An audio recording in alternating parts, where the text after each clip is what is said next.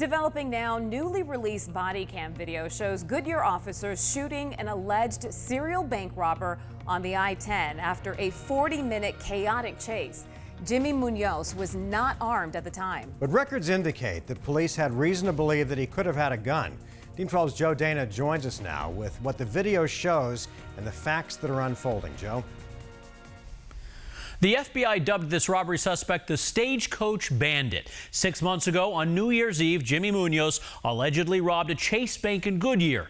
The FBI claims it was the sixth bank he had hit that same month in the Phoenix area. This time, police caught up with him. Shots fired, shots fired. The shooting that left robbery suspect Jimmy Munoz hospitalized for months and scarred on his face from bullet fragments was the result of a showdown after a month long robbery spree Munoz is accused of committing. This is Munoz allegedly walking into the Goodyear Chase Bank New Year's Eve, where police say he gave the teller this note containing phrases Do as I say, you won't get hurt. Give me all money, no games. And I have a gun. Munoz allegedly took off with $2,100. A witness says he yelled sorry as he exited the bank. But this time, police say the so called stagecoach bandit wouldn't get away.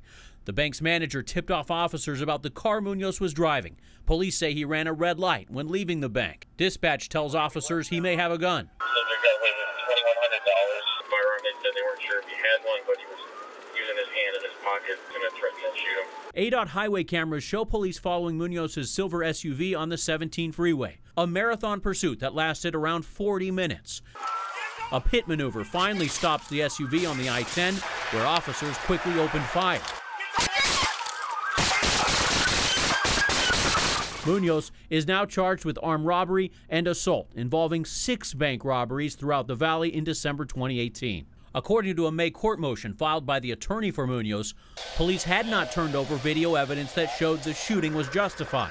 According to the motion, police claim body cam video shows Munoz raised his arm and pointed his hand at officers before three officers opened fire. 12 News reviewed four body cam videos provided by police. We can't see Munoz raising his arm. It appears he may be opening the driver's side door just before he was shot. It all happens in a couple of seconds. Goodyear police say they've released all the footage they have of the shooting.